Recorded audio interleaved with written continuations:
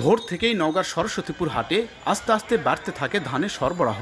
প্রান্তিক চাষিরা গোলায় রাখা ধান বিক্রির জন্য হাটে তোলেন। মোটা ধানের চেয়ে এ হাটে চিনি আতপ ধানের সরবরাহ কিছুটা বেশি। সরবরাহ বাড়ায় ক্রেতারা খুশি হলেও গেল দশ দিনের ব্যবধানে মন প্রতি দুশো টাকা পর্যন্ত দর কমায় হতাশ চাষিরা।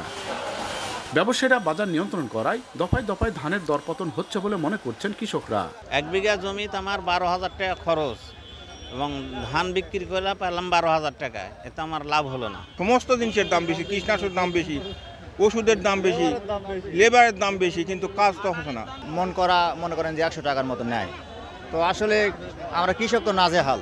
দর কমার তালিকায় রয়েছে চিনি আতপ গোল্ডেন আতপ গুটি সোনা জাতের ধান। গেল মৌসুমে আমনের উৎপাদন কম তার উপর হঠাৎ দর পড়ে যাওয়ায় লোকসানের মুখে কৃষকরা। এখানে আবাদ করে আমরা যদি দুটো পয়সার জন্য যদি আমরা বেচতে না পারি ষোলো আমরা যদি আঠারোশো দু হাজার টাকা মন। তাহলে এই ধান আতপ ধান করার থেকে না করাটা আমার উত্তম। সরকার যদি আমাকে না দেখে তাহলে আমরা চলবো কীভাবে? সকালবেলা প্রশাসন আসে না আমরা কম দামে ধান বেচে যাই। এদিকে ব্যবসায়ীরা দেখাচ্ছেন ভিন্ন অজুহাত। তাদের দাবি বিদেশে চিনি আতপ চাল রপ্তানি বন্ধ হওয়ায় কম দরে ধান কিনতে হচ্ছে। আমাদের এই চাল বিক্রি না হলে আগামীতে ধানের বাজার আরও নতুন করে আবারও হয়তো বিপর্যয়ের সম্ভাবনা আছে অর্থাৎ দাম কমে যাওয়ার সম্ভাবনা আছে। কারণ আমাদের কাছে তো টাকা নাই। টাকা না থাকলে আমরা ধান কিনবো কোথায় থাকে? গেলবার জেলায় এক লাখ নব্বই হাজার হেক্টর জমিতে ধানের আবাদ হয়।